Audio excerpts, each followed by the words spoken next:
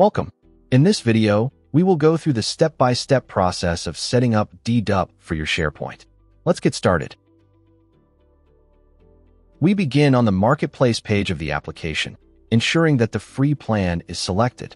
Once confirmed, we click Create to start the setup process.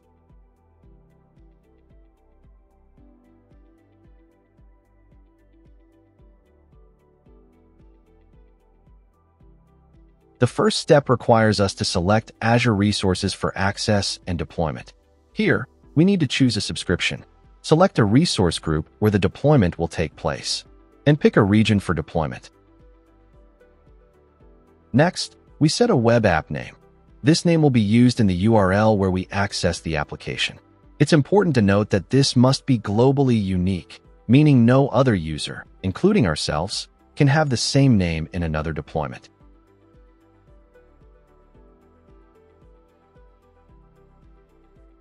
We also provide an application name, which serves as the internal identifier within Azure, and a managed resource group, which is automatically created to store all application resources. In the Application Settings section, we need to enter an administrator email. This must be a Microsoft-associated email account. It will be used for the first login and to configure access settings. We then choose a VM size, which determines the virtual machine's capacity to run the application. The available options follow Azure's sizing conventions, so the choice should be based on the workload requirements. The free version of deDup uses an embedded database, which is recommended for SharePoint environments with up to 1 million files. If your workload exceeds this, it is recommended to upgrade to the paid version, which allows for a dedicated database as a separate Azure resource. We now move to the JIT access configuration, which adds an extra layer of security for application resources. If enabled, JIT access allows you to define who can access the application's resources and how long they have it. For this demonstration, we will leave this setting disabled.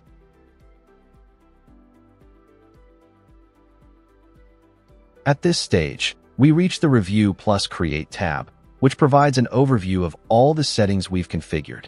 After verifying everything is correct, we give our consent. Then, we click Create.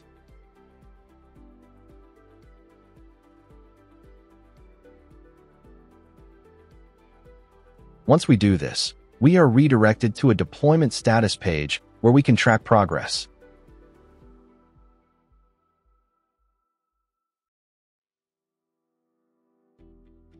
After a few minutes, the deployment is complete and we can click Go to Resource, which takes us to the resource group where the managed application was created. Inside the managed application, we go to Parameters and Outputs. At the bottom of the page, in the Output section, we find the generated application URL. This is based on the web app name we set earlier. To begin using the application, we access this URL. We log in using the administrator email set during setup. It's important to note that the virtual machine has a startup time of a few minutes, so the site may not be accessible immediately after deployment. Now that deDup is installed, we need to connect it to our SharePoint account.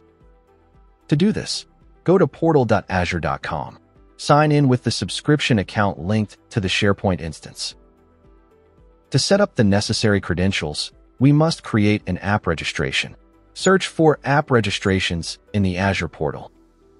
Click New Registration. Assign a name. Leave the other settings as default. Click Register. Now, we link the deDup application to this app registration by creating a client secret. To do this, navigate to Certificates and Secrets in the left menu. Click New Client Secret. Add a description.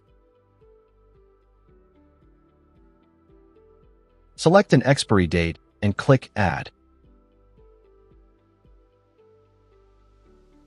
It's important to save the client's secret in a separate document because once you leave the page, you won't be able to see it again. Losing this information could prevent you from connecting deDup to SharePoint properly, so make sure to store it somewhere safe. Additionally, it's crucial to copy and save two key details for future reference.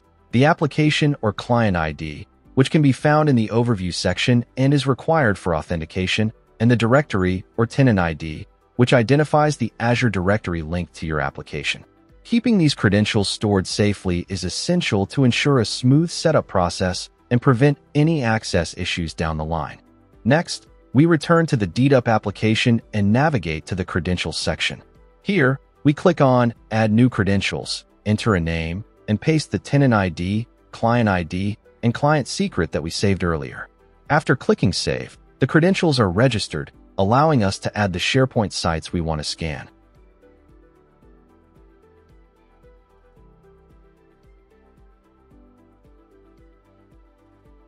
When adding a site, we can either select existing credentials or add new credentials directly from the same window. To test the setup, we add a SharePoint site and click Save. If we receive an error when adding a site, it's likely due to missing API permissions. To resolve this, we go to App Registration, navigate to API Permissions in the left menu, and click Add a Permission. We then select Microsoft Graph, choose Application Permissions, search for Sites, and select Sites Read All. Similarly, we search for Files, select Files Read All.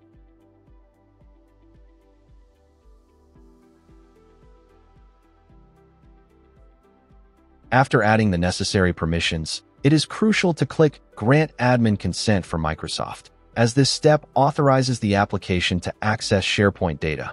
Without it, deDup will not function properly.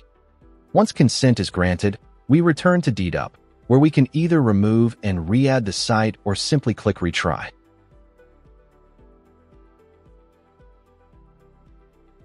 With the necessary permissions in place, we can now scan our SharePoint site. We return to the deDup main page, start a rescan, select the site, and click Confirm. The scanning process begins, systematically analyzing the selected SharePoint site to identify files, assess their sizes, and detect any duplicates within the storage. Once completed, we see two pie charts that provide insights into the total number of scanned files, their size distribution, and the number of duplicate files detected. In this example, 550 files were scanned, and out of those, 546 files were identified as duplicates, giving us a clear overview of storage usage. That's it. You now know how to set up deDup, connect it to SharePoint, and run a scan for duplicate files. Thank you for watching.